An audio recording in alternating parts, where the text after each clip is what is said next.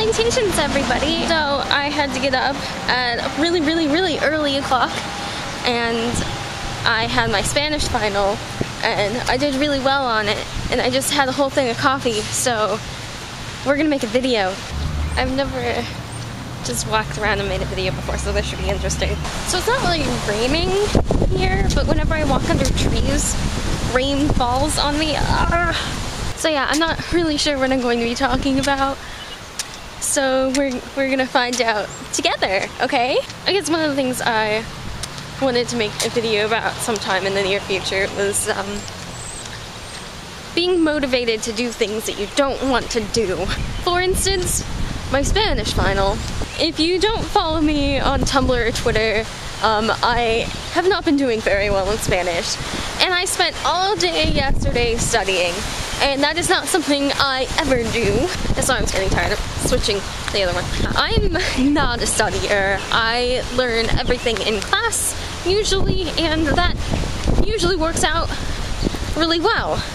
Um, but in college that hasn't necessarily been the case whatsoever. So I'm going to give you a couple of tips on how to stay motivated for things that you don't really want to do, or maybe things that you do want to do and just haven't done yet. Um, either one these will probably be applicable. I don't actually know what they are yet, so they might be applicable, but we're gonna we're gonna find out. The first step is to decide what your goal is. This can be anything from passing a final to learning how to play the cello. If you're going to do anything, you have to decide what it is you're doing. Um, that's usually how things work. Even with like your body. You can't move your arm around without deciding to do so. So yeah, decide what it is that you want to accomplish.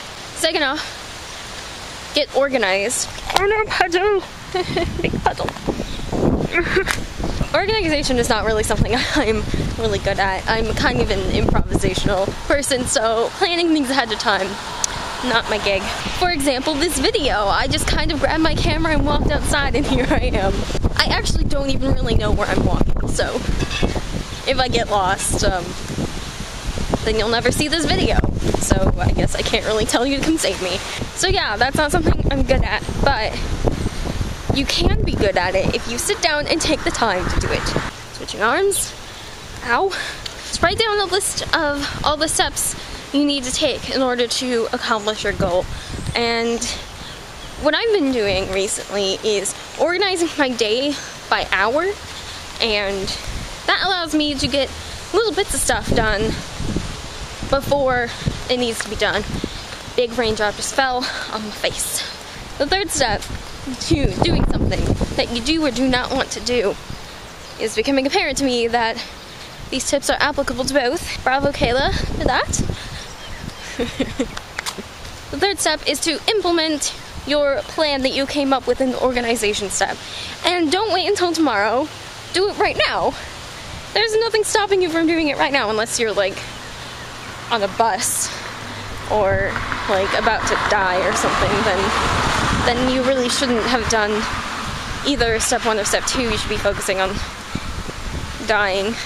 Do the things you want to do now. Don't wait ever because tomorrow never actually comes. If you want to do something, start right after you watch this video. I'm gonna hold you to that. If I see you posting a comment underneath my video, I am going to be very disappointed in you. Not really. I'm actually going to be really happy if anyone comments on this. Uh, so I hope everyone has a marvelous day. I will see you next time. Uh, don't forget to subscribe to the VYousers if you want to see videos of me regularly. I post every Friday, so that's fun. Yeah, that's about it. Toodles!